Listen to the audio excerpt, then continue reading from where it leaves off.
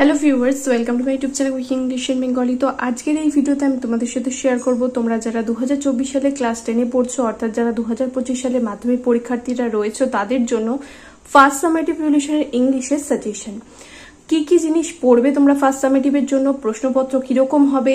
কোন কোন জিনিসগুলো পড়লে তোমরা পুরো চল্লিশে চল্লিশ নম্বর পাবে? সেটাই আজকের এই ভিডিওতে আলোচনা করব। তো তোমরা সবাই জানো যে তোমাদের ফার্স্ট সামেটিভ রিভলিউশন হয় চল্লিশ নম্বরের এবং প্রজেক্ট থাকে দশ নম্বরের তো ইতিমধ্যে অনেক স্কুল দশ নম্বরের প্রজেক্ট জমা নিয়ে নিয়েছে এবং কিছু স্কুল বাকি রেখে দিয়েছে, পরীক্ষার দিনে জমা নেবে বলে। আর বেশিরভাগ ক্ষেত্রে আমি দেখি যে স্কুলগুলো এরকম করে যে পরীক্ষার ঠিক আগের মুহূর্তে, অর্থাৎ যেদিনকে রিটেন এক্সাম স্টার্ট হচ্ছে, তার দুদিন আগে তারা প্রজেক্টগুলো জমা নেয়। তোমাদের স্কুল কবে প্রজেক্ট জমা নিয়েছে অবশ্যই করে কিন্তু কমেন্ট করে জানিও। তো এতে কিন্তু ছাত্রছাত্রীদের অসুবিধা হয়, কারণ আগে থেকে প্রজেক্টগুলো করে রাখলে রিটেন এক্সামের জন্য তাদের পড়তে সুবিধা হয়। এবার এখন পরীক্ষার আগে গিয়ে যদি তারা প্রজেক্ট করতে বসে, তাহলে তো রিটেন এক্সামের জন্য কখন পড়বে? যেটা কিনা দেখো চল্লিশ নাম্বার কিন্তু তোমাদের রিটেনে রয়েছে, আর প্রজেক্টে রয়েছে মাত্র দশ। তো সিন থেকে তোমাদের ফার্স্ট সামেটিভ চারটে টেক্সট থাকে father self fable the passing away Bapu my own true family এই চারটে টেক্সট আমি অলরেডি তোমাদের সাথে শেয়ার করেছি, যারা এখন অব্দি কিছুই পড়নি, বুঝতে পারছ না যে ফার্স্ট সামেটিভেশনে কি কি পড়বে।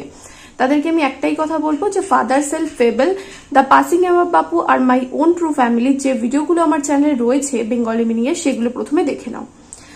যদি তোমাদের টেক্সট পড়া হয়ে গিয়ে থাকে, তাহলে তারপরে কি করবে? তারপরে তোমরা father self fable my own true family R passing আমার বাবু থেকে যে এক্সট্রা কোশ্চেনগুলো আমি তোমাদের লিখিয়েছি, সেগুলো বিশেষ করে দেখবে। বিশেষ করে যদি তোমরা মনে হয় যে সিনের উত্তর আমরা নিজে থেকে লিখতে পারব, তাহলেও তোমাদেরকে আমি বলব যে এই পোয়েমের পোয়েম থেকে যে প্রশ্নগুলো লিখেছি, বিশেষ করে এই প্রশ্নগুলো তৈরি করে যাবে। তোমাদের মূলত যেটা করা হয় সেটা হচ্ছে একটা সিন সিনের মানে সিনের দুটো প্যাসেজ দেওয়া হবে। একটা প্রোজ দেওয়া হবে এবং একটা পোয়েট্রি মানে একটা শর্ট স্টোরি এবং একটা পোয়েট্রি এর মধ্যে ধরো হয়তো দিল দ্য পাসিং বাপু আর মাই ওন ট্রু ফ্যামিলি বা এরকম করল the passing Bapu R fable থেকে দিল কোশ্চেন তো সেটা তোমাদের স্কুলের উপর পুরোপুরি নির্ভর করছে যে কোনটা দেবে। তো মূলত তোমাদের প্রোজ থেকে থাকে ছয় আর পোয়েট্রি থেকে থাকে চার। এরকম করে নাম্বার ডিভিশন থাকে। কারণ এখানে টোটাল সিন থেকে আসে দশ নম্বর। তো আশা করি বোঝাতে পারলাম যে ফেবেল এবং মাই ওন ট্রু ফ্যামিলি থেকে যে কোশ্চেন্সগুলো লিখে দিয়েছি, সেগুলো অবশ্যই করে পড়তে হবে যদি তোমরা পোয়েমের অ্যান্সার কমন চাও তো। এরপর আসে গ্রামারের কথায় আনসিনের কথায়। আনসিনে থাকে দশ প্লাস চার সমান সমান চোদ্দ, অনেক স্কুলে এটা দুই নম্বরও দেওয়া হয়। চার নাম্বারটা লিখেছি হচ্ছে ভোকাবুলারির জন্য। ভোকাবুলারিটা যেটা গ্রামারের সাথে থাকে, ওটা ওখানে গ্রামারের কিন্তু পার্ট নয়, ওটা তার সাথেও গ্রামারের সাথে দেওয়া হয়। তো আনসিন কিন্তু দশ নম্বরের অ্যাটলিস্ট তোমাদের থাকবে এবং চার নম্বরের যে ভোকাবুলারি সেটা কিন্তু গ্রামারের সাথে যুক্ত করে দেওয়া থাকে লাস্টে দেখবে ভোকাবুলারি সেটা হচ্ছে সিমিলার মিনিং আনসিন প্যাসেজ থেকে খুঁজে নিয়ে লিখতে হবে। তো এটা পুরোপুরি প্র্যাকটিসের উপর নির্ভর করছে প্যাসেজ ভালো করে পড়বে, যখনই যে কোশ্চেনগুলো পাও না কেন ট্রু ফলস টিক মার্ক যাই থাকুক না কেন, সেগুলোতে, সেগুলোকে আগে ভালো করে দেখবে যে কি কি আছে এবং তারপরে প্যাসেজ পড়বে, একটা একটা করে কি উত্তর চেয়েছে সেটা পড়ে বুঝে তারপরে কিন্তু উত্তরগুলো দেবে। উত্তর মানে প্যাসেজ পড়ে নিয়ে উত্তর খুঁজে পাচ্ছ না বা ছেড়ে দিয়ে চলে আসলাম, তাহলে কিন্তু হবে না। তোমাকে প্রত্যেকটা প্রশ্নের উত্তর কিন্তু করে আসতে হবে। আর পুরোপুরি প্র্যাকটিসের উপর নির্ভর করছে, যেটা তোমাদের এর আগেও বলেছি। তোমাদের কোশ্চেন ব্যাংক বা হোক ডাফেন ডাটের কোশ্চেন বাঞ্চ যাই থাকুক না কেন, বা যে কোনো প্র্যাকটিস বুক যদি তুমি প্র্যাকটিস করে থাকো, তাহলেও কিন্তু হবে। খুব ভালো কাজ দেবে কিন্তু সেগুলো। তাই আনসিন বেসটা কিন্তু পুরোপুরি প্র্যাকটিসের উপর নির্ভর করছে। এরপর চলে আসি গ্রামারের কথায়। দেখো গ্রামারের মধ্যে তো তোমাদের টেক্সচুয়াল গ্রামারগুলো ভালো করে পড়তে হয়। টেক্সটের যে গ্রামারগুলো রয়েছে, সেগুলো যেন অবহেলা করবে না। টেক্সটের গ্রামারগুলো অবশ্যই করে করে যাবে। Lesson one two three four এই চারটে লেসনে যে কটা গ্রামার রয়েছে, প্রত্যেকটা গ্রামার কিন্তু খুব ভালো করে পড়ে যাবে।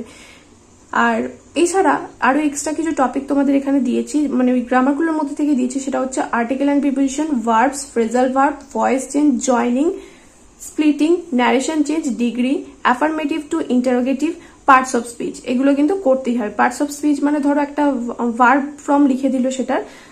সেটাকে তোমাকে কি করতে হবে? নাউন ফর্ম দিয়ে রিরাইট করতে হবে সেন্টেন্সটা এটা এর আগেও তোমরা করেছ এবং আমার চ্যানেলে কিন্তু প্রচুর গ্রামারের ভিডিও দেওয়া রয়েছে।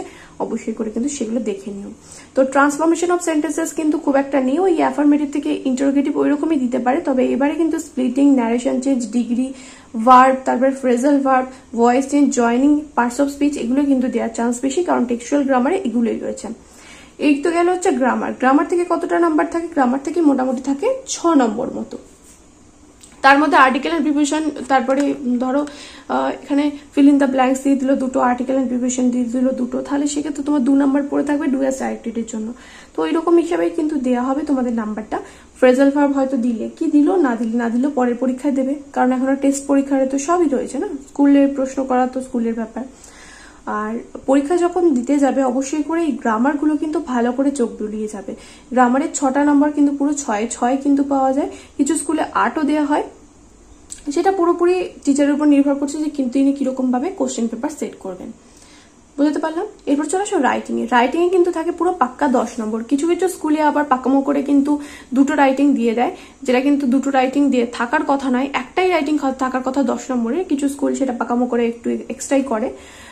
এটা আমি দেখেছি যে তারা দুটো রাইটিং দিয়ে দেয়। দশ মানে দশ নম্বরের ওখানে আনসিন এবং গ্রামার থেকে তারা নাম্বার কমিয়ে আর রাইটিং এর মধ্যে নাম্বারটা বেশিরভাগ ক্ষেত্রে দিয়ে দেয়। তো তো বেশি, বেশিরভাগ স্কুলে যেটা হয়, কিছু কিছু স্কুলে এটা ব্যতিক্রমী আছে, বেশিরভাগ স্কুলে যেটা হয়, সেটা বলছি, সেটা হচ্ছে যে চল্লিশ নম্বরে একটাই কিন্তু রাইটিং থাকে এবং কোন কোন রাইটিং এর টপিক তোমরা করবে, সেটা হচ্ছে processing writing biography writing notice writing editorial letter আর প্যারাগ্রাফ রাইটিং এই যে পাঁচটা টপিক বললাম, এই পাঁচটা টপিকের রাইটিং কিন্তু তোমাদের ভালো করে করে যেতে হবে। এই পাঁচটা টপিকের রাইটিং কিন্তু তোমরা আমার চ্যানেলে পেয়ে যাবে। অবশ্যই করে কিন্তু দেখে নিও। এই রাইটিংগুলো কিন্তু ভীষণই ইম্পর্টেন্ট এই রাইটিংগুলো তোমাদের কিন্তু করতেই হবে। আর টেক্সটের মধ্যে যে রাইটিংগুলো রয়েছে, সেগুলো দয়া করে অবহেলা করবে না। যেমন ধরো বিল্ডিং কনস্ট্রাকশনের প্রসেসিং রাইটিং একটা রয়েছে। তারপরে মৌলানা আবুল কালাম আজাদের একটা বায়োগ্রাফি রয়েছে, সেগুলোও কিন্তু দিতে পারে। নোটিস রাইটিং বইতে যেগুলো রয়েছে এডিটোরিয়াল লেটার দুটো অলরেডি বইতে রয়েছে, বা এক্সট্রা আমি অনেকগুলো কিন্তু এডিটোরিয়াল লেটার তোমাদের লিখিয়ে দিয়েছি। স্কুল থেকে কোনটা দেবে কিন্তু সেটা পুরোপুরি স্কুলের ব্যাপার, কিন্তু তোমরা কিন্তু প্যাটার্নগুলো অবশ্যই করে রেডি করে যাবে। যেমন এডিটোরিয়াল লেটারে একটা বিশেষ প্যাটার্ন রয়েছে, সেটা আমি তোমাদের অলরেডি শিখিয়েছি, আমার চ্যানেলে ভিডিও দেওয়া রয়েছে, যে তুমি যদি নিজের ভাষায় নাও লিখতে পারো, কতটাও তুমি মুখস্থ করে নাম্বার পেতে পারো। পাঁচ নাম্বার কিন্তু তুমি ওই প্যাটার্নটা যদি মুখস্থ করে যাও, দশের মধ্যে কিন্তু পাঁচ পুরো পুরো পেয়ে যাবে। কারণ ওই প্যাটার্নটা ওরকমভাবেই লেখানো হয়েছে। তো তোমাদের যেটা করতে হবে প্যাটার্নটাকে ভালো করে এডিটোরিয়াল লেটারের ক্ষেত্রে মুখস্থ করে দিতে হবে। তাহলে কিন্তু আর কোনো রকম অসুবিধা হবে না এডিটোরিয়াল লেটার লিখতে। বুঝতে পারলাম? এবার নোটিস রাইটিং এর ক্ষেত্রেও কিন্তু একটা বিশেষ প্যাটার্ন রয়েছে, সেটাও শিখতে হবে। প্রসেসিং রাইটিং নিজে থেকে লিখতে পারবে সিম্পল প্রেজেন্টেন্সের প্যাসিভ ভয়েস ব্যবহার করে। বায়োগ্রাফি রাইটিং তো ভীষণই সহজ, ওখানে পয়েন্টস দেওয়া থাকে, শুধু তোমাকে পাস্ট টেন্সে লিখতে হবে এবং যেখানে প্রেজেন্টেন্সের দরকার সেটা লিখতে হবে। তোমরা যেরকম এই শিখেছো জয়নিং শিখেছো, সেরকমভাবে সেন্টেন্সকে জয়েন করতে হবে। আবার ক্লজের ব্যবহার করতে পারো, কোনো জায়গায় সিম্পল সেন্টেন্সের বা কম্পাউন্ড সেন্টেন্সের জয়নিং এর যে নিয়মগুলো, সেগুলো ইউজ করতে পারো। সেরকমভাবে ব্যবহার করে করে নিজেই কিন্তু লিখতে পারবে, কারণ বায়োগ্রাফ কিন্তু সব থেকে সহজ রাইটিং প্যারাগ্রাফ তো বাদই দাও, পারে। প্যারাগ্রাফ প্রসেসিং এগুলোর থেকে সব থেকে সহজ হচ্ছে বায়োগ্রাফি বাদ দিতে বললাম মানে পড়তে বারণ করছি না কিন্তু। আমি বলছি ওইটা বাদ দিয়ে। মানে বায়োগ্রাফিটা হচ্ছে যে কটা রাইটিং এখানে রয়েছে সব থেকে সহজ হচ্ছে বায়োগ্রাফি রাইটিং তো এই যে রাইটিং এর টপিকগুলো বললাম রাইটিং এ কিন্তু দশ থাকবেই।